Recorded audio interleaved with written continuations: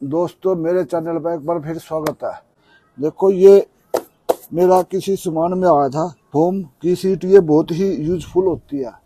Heat भी कम आती है, लेकिन इसमें पौधे लगाने वही चाहिए जो लग सके। आइए, इसमें मिनी जंगल जड्डे प्लांट बनाएँगे।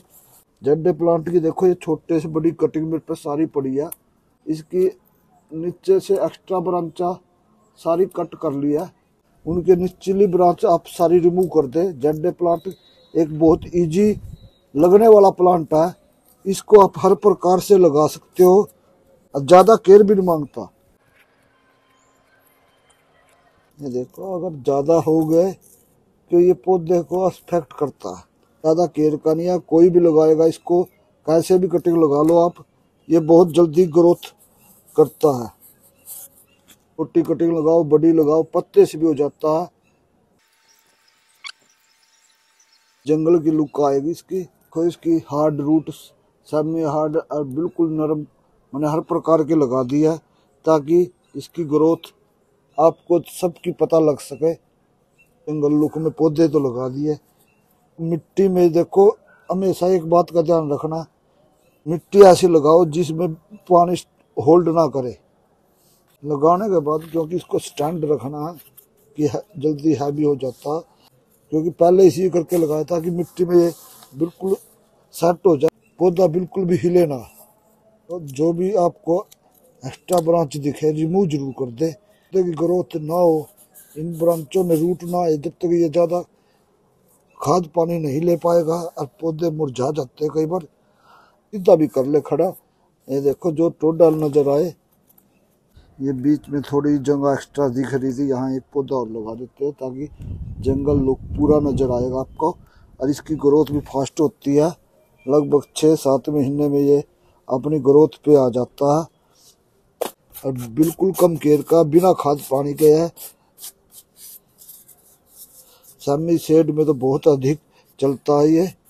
और बोनजाई बनाने में बहुत यूज़ होता है। ये देखो, मैंने लगा दिया, ये पहले भी मेरे जड्डे प्लांट देखो, मैंने आपको दिखाई थे कि वो रिपोर्ट पहले कर चुका था।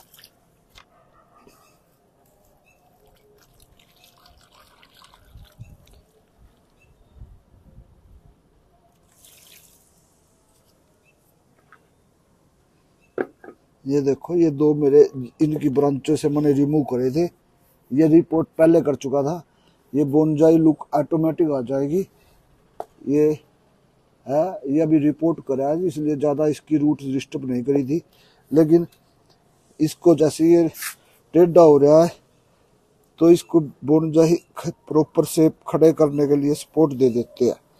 ये थोड़ा हार्ड है, इसलिए इसको मैंने नहीं दिया। अब ये ऊपर से गना होगा तो ये देखो मैंने इसके ऊपर पत्थर जो गमला टूटा था, उसके वो कन रख दिए ताकि पौधे को पानी की मात्रा ठीक ठीक मिले और सपोर्ट मिली रहे।